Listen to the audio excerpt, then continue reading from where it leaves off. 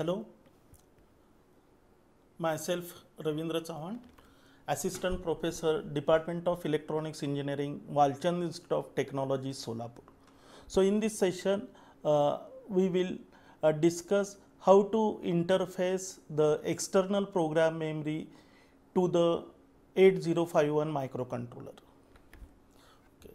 So, at the end of this session, the student will able to apply the concept of the program memory interfacing while control while designing the controller based system.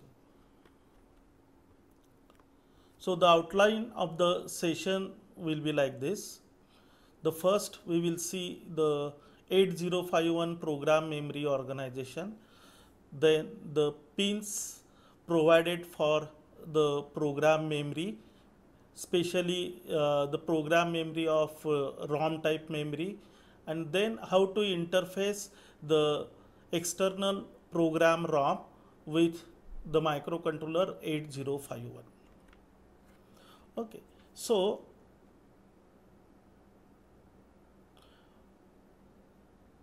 Eight zero five one microcontroller have the on-chip 4K bytes program memory. Okay, so it is having the 4K program memory. Then on chip program memory address range it starts from 0 to 0FFFH. Why 0 to FFF? Because the size of the program memory, internal program memory is 4K and the number of address bits required to address 4K memory is equal to 12. Okay, so that's why the maximum address is 0FFF. Now to 8051 we can also interface 64K external program memory okay. So the internal 4k and plus external 64k so physically we can have the 68k program memory. So we can connect the 68k program memory to the 8051 means 68k means 4k on chip plus 64k off chip means external memory. But the 8051 have only 16 address bits program counter is only of 16 bit so the 8051 is capable to generate only the 64k addresses starting from 0 to FFFFH. So assignment of these 64k addresses in on chip and off chip program memory can be done by the use of the control signals called EA bar. It is the active low signal and EA stands for external access.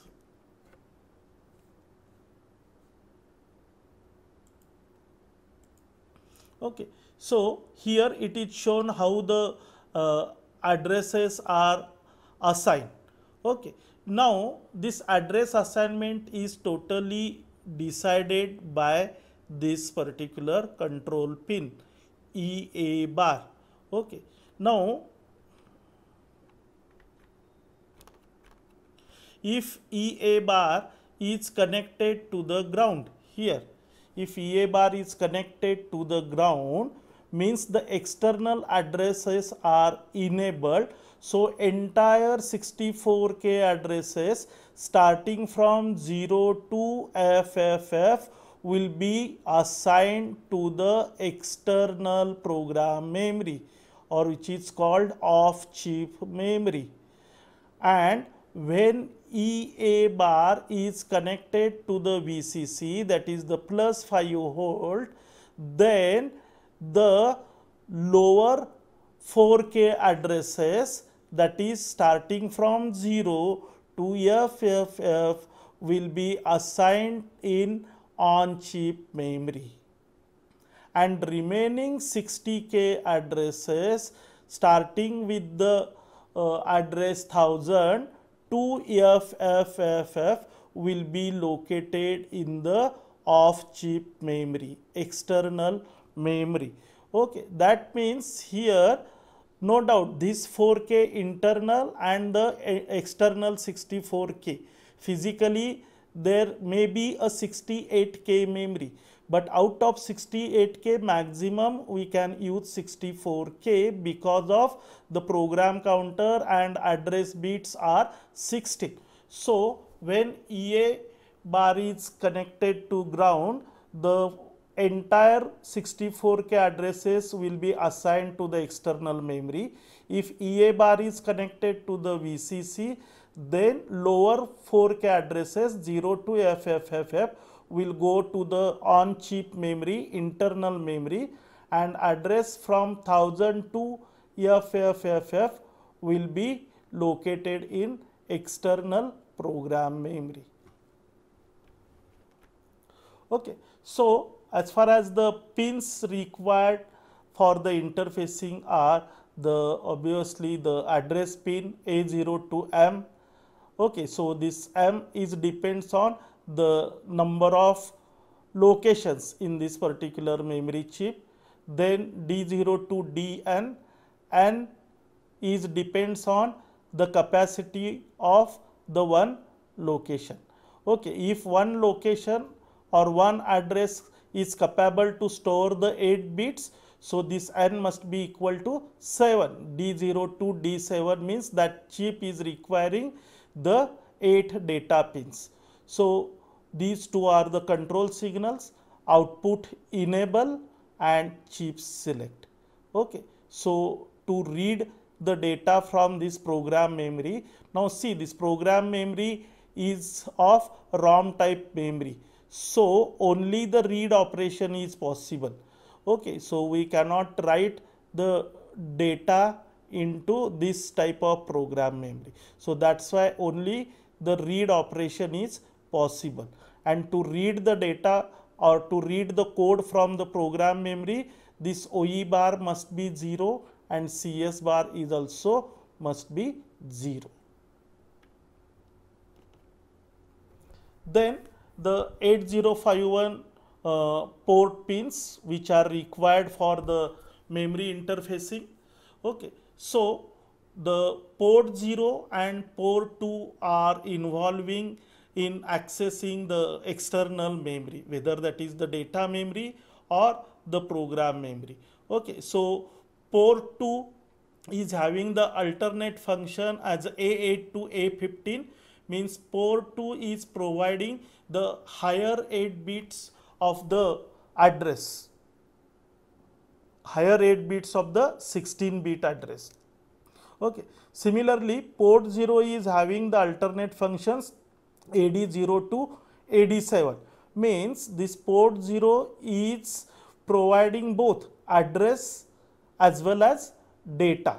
Okay. So what will be available on the port 0 at what time?